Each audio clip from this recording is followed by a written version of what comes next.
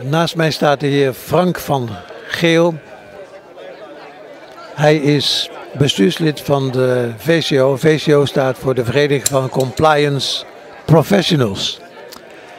Ik wil even aan hem vragen hoe het op dit moment ervoor staat met de VCO. En wat gaan jullie doen de komende periode? Uh, er is een nieuw bestuur gekomen, heb ik begrepen. Uh, zeg eens, wat zijn jullie plannen? Wat gaan jullie doen? Uh, nou, de VCO is natuurlijk een vereniging uh, voor en door compliance uh, professionals. dus het, de initiatieven komen echt vanuit de organisatie zelf, vanuit de leden zelf. zoals je net al zegt, is vorig jaar trouwens een nieuw bestuur aangetreden. Uh, onze ambitie is om de VCO toch echt weer meer op de kaart te zetten. meer te laten shinen, meer op de voorgrond te laten treden. Ja, dat kan denk ik maar op één manier. En dat is door gewoon heel veel voor de leden te bieden. en dat uitzicht denk ik met name door het organiseren van, van evenementen. Dat is de afgelopen periode, dat zal geen verbazing wekken, natuurlijk buitengewoon lastig geweest. corona heeft flink wat route in het eten gegooid.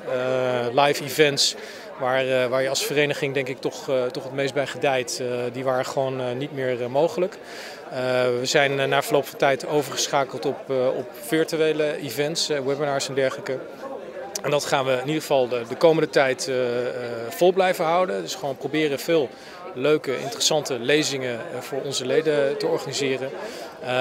ja, en op die manier proberen wat, wat, wat te bieden. Hebben jullie samenwerkingsverbanden met buitenlands soortgelijke zuster, broederverenigingen?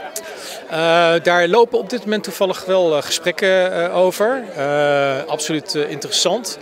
Ehm, de eerlijkheid gebied wel te zeggen dat onze eerste eh, prioriteit ligt gewoon wel bij de vereniging en bij de leden. Dus het is natuurlijk altijd leuk om in een internationaler, groter verband ook, ook gesprekken te voeren, ook overleg te hebben. Je kunt veel van elkaar leren.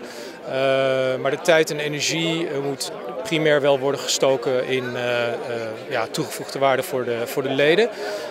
nou, dat gezegd hebbend staan we wel in contact met en hebben daar wel gesprekken mee. Ja, klopt. Ja. Dankjewel. Ik zou zeggen, geniet nog even van, van het mooie weer en wellicht tot ziens. Oké, okay, dankjewel.